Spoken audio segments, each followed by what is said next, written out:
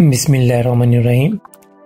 आज का टॉपिक है एग्रीकल्चर एंड इंडस्ट्रियल डेवलपमेंट बात करते हैं एग्रीकल्चर पे। Agriculture is the practice of cultivating and farming animals food and other life forms that are used to sustain life it consist of crops forests livestock and poultry farming and fisheries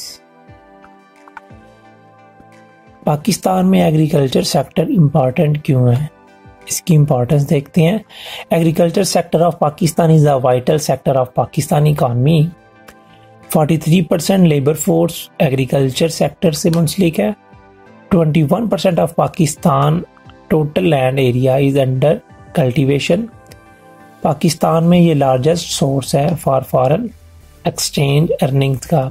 हमने पहले भी बात की थी कुछ previous lecture में कि जब भी मुल्क की एक्सपोर्ट ज़्यादा होंगी तो मुल्क का जो बैलेंस ऑफ़ पेमेंट है वो फेवरेबल होगा या पॉजिटिव होगा, या इकॉनमी के हक में बेहतर होगा। तो एग्रीकल्चर सेक्टर एक उनमें से एक सेक्टर है जो कि फॉरेन एक्सचेंज को बेहतर करता है। Agriculture accounted for 22.4 percent of gross domestic in 2019 बाईस इशारिया चार परसेंट ग्रॉस डोमेस्टिक प्रोडक्ट में एग्रीकल्चर सेक्टर का है। Agriculture sector has traditionally sustain satisfactory growth to ensure food security for our growing population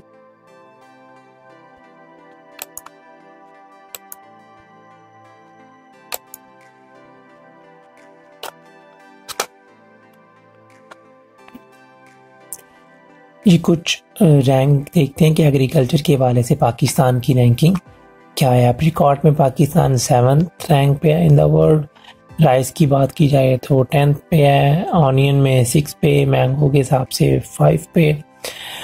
pulses में देखा रहे तो इलेवेंथ पे.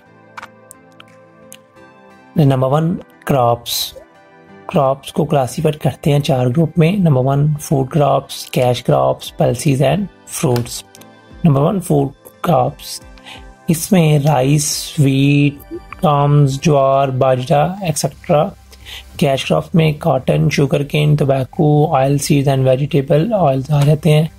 पल्सिस में green moong beans yellow moong, dal, masoor dal mash दाल, काला चना एक्सेट्रा फ्रूट्स की बात की जाए तो dates banana mango guava apple etcetera second one is forest The forests of Pakistan are main sources of timber, paper, fuel, wood, latex, medicine, as well as human and animal foods. The forests also provide for ecotourism and wildlife conservation purpose. Forest की अगर बात की जाए तो पाकिस्तान में alpine forest जिसे हम mountain forest भी कहते हैं conifers forest tropical thorn forest सब ट्रॉपिकल फॉरेस्ट riverain और bela forest and irrigated forest Pakistani forest की बात की जाए तो इसमें सबसे पहले अल्पाइन फॉरेस्ट ये फॉरेस्ट हाई एल्टीट्यूड पे पाए जाते हैं लाइक सतह समुंदर से ज़्यादा ऊंचाई पे होने की वजह से इधर का टेम्परेचर लो होता है और सूरज की रोशनी भी कम होती है, जिसकी वजह से इनकी ग्रोथ है वो स्मॉल होती है। ये forest northern areas like Chitral Dir and Kohistan के इलाकों में पाए जाते हैं। Essential to obtain fuel wood only coniferous forest founded in northern areas Khyber Pakhtunkhwa hill station such as Murree and the Balochistan mountain lush greenery जंगलात होते हैं और इनमें जो दरख्त पाए जाते हैं वो नुकीले दरख्त पाए जाते हैं। जब इनके ऊपर बर्फ़ पड़ती है तो बर्फ़ को ये एक्यूमुलेट होने से रोकते हैं और वो बर्फ़ जो इसी वजह से ज़मीन पे गिरती है। अगर वही बर्फ़ ज़मीन पे ना गिरे तो दरख्त टूटने के हदशात होते हैं और कोई हादसा होने के हदशात होते हैं। Important sources of timber for the conservation of soil, conserving center for birds and wildlife, also attract tourists and promote tourism, add scenery beauty to. Tropical thorn forest की बात की जाए तो ये इनकी नॉर्मल हाइट जो है वो सिक्स से टेन मीटर होती है और पानी की किल्लत की वजह से इनकी ग्रोथ कम होती है। Commonly found in Punjab plains throughout southern and western Balochistan and Sindh grass lands trees use for firewood sub tropical scrub forest की बात की जाए located in hills and foot hills of lower Himalayan Sulemani and Kirthar range the western mountain and अब the Makran coast range these sub tropical trees and broad leaf and और tropical thorny species use consist of as a watershed protection और ये जो लकड़ी जनाले के लिए है, उसके ये सोर्सेज हैं। रिवरिन और बेला फॉरेस्ट की बात की जाए तो ये दरियाओं के नज़दीक पाए जाते हैं। दरियाओं के नज़दीक होने की वजह से पानी की किल्लत नहीं होती, जिसकी वजह से इनकी ग्रोथ बहुत ज़्यादा होती है। दे प्रोवाइडेड शीशम एंड बाबुल, ये इनके दरख्त प्रोवाइड करती हैं, जिससे फर्नीचर और एग्रीकल्चर की इम्प्लीमेंटेशन होती है। Mangrove forest located in the coastal area of Sindh and the coastal area of Balochistan ये जंगलात में जो दरख्त पाए जाते हैं, इनकी नॉर्मली हाइट तीन मीटर होती है और ये छः से आठ मीटर के भी हो सकते हैं।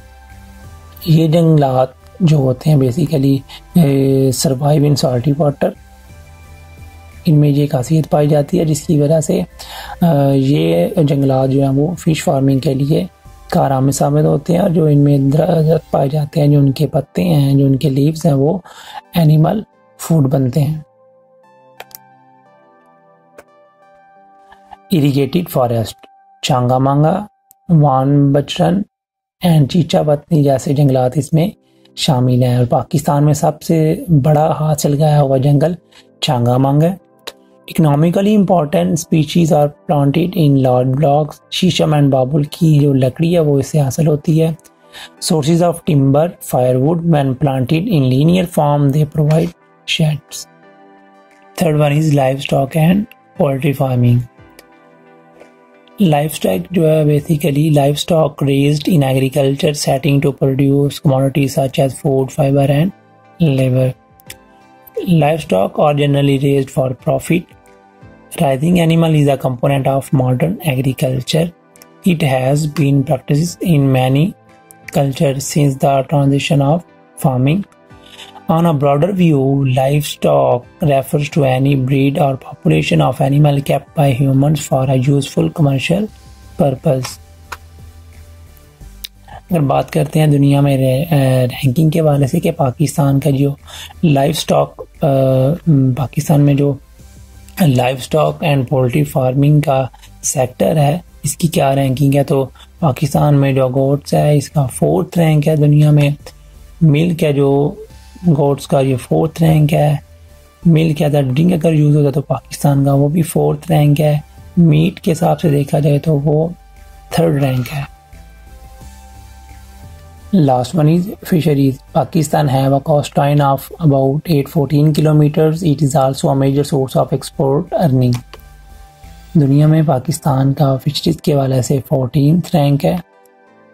और हम कह सकते हैं फ़िश फ़ार्मिंग के हिसाब से फ़िश की प्रोडक्शन के हिसाब से पाकिस्तान में दुनिया का फोर्टीन रैंक है। Pakistan agriculture research council has offered assistant to fish growers to increase their per acre चील अक्रॉस द कंट्री पाकिस्तान की जो कौमी मछली है mahseer is the national fish of Pakistan. इसके अलावा hilsa, salmon fish, khagga, trout, संगाड़ा and रहू, इस तरह की मछली पाकिस्तान में पाई जाती है।